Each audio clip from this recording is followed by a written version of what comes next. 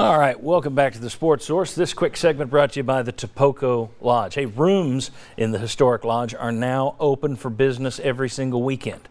So the winter close down is done. They are open on the weekends in the lodge itself. Then their grand opening for seven days a week stays. That's the lodge, that's cabins, that's the whole nine to the Tapoco Tavern. All that is set for March 13th. So right now, weekends at the lodge, good to go the big grand opening for seven day a week enjoyment. That's coming in March. The Tapoco Lodge is a spectacular place, great for your events.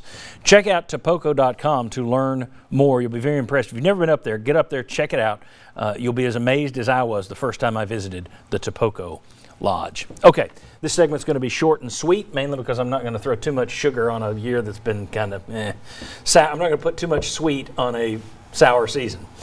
Vince, I'm going to ask you who the MVP is for this basketball team, and I ask each of you to rank them one, two, three. Who you would put the MVP, who would be second, who would be third. So one, two, three MVP for this basketball team. Well, I think the the three choices are pretty clear. It's just a matter of which order you want to put them in. Uh, I went with Fulkerson one, just his development in the post, the energy he brings, the plays that don't show up on the uh, on the stat sheet. Uh, I, I, I, think he's at number one. Two Pons, he's also developed big time, and he can defend all five positions. Wasn't great yesterday, but I still think overall he's been tremendous, and now is on NBA radars. And then three Vescovi, you know, it's a it, he has made a great impact for being in the SEC in the short period of time, but he's also uh, has a smaller sample size of being able to help this team. But for Rick Barnes is right; it is an unbelievable story. So I have Vescovi at three, great kid as well. All right, so Fulkerson is his MVP, and Pons and Vescovi follow it up. Mike Strange, what's your one, two, three?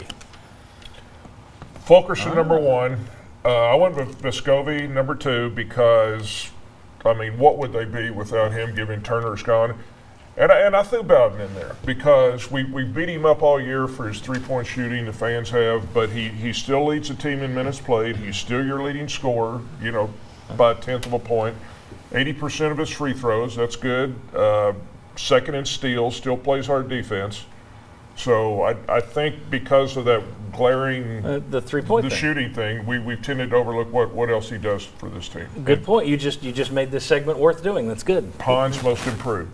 So most you gave a most improved. All right. So I, you went a little off script, mm-hmm. and Mark always looks at the segment I give him and says, "John, let me show you how it's done." You went way off script. Your MVP. Well, uh, yeah, you played I think with it's it. pretty apparent. You know, I liked Bowden. I think Fulkerson, all those guys. I think it's pretty apparent who the top guys are. I went with a little definition of MVP. I guess the the missing valuable players. Uh, I think that's the biggest impact on this team. I think a lot of guys are performing uh, above where they are in, in Fulkerson, in Pons, Vescovi. Um, but I say missing valuable players. I think it starts with our bench. Um, Jalen Johnson, he's a junior. There's development. Um, I don't throw Josiah James in there because he's a freshman, even though he's a five star. I just but bench in general. Um, I think Bowden, all the great stuff that Bowden has done. I think um, we're missing um, uh, what he could be, his scoring and the ways that he could add to the team.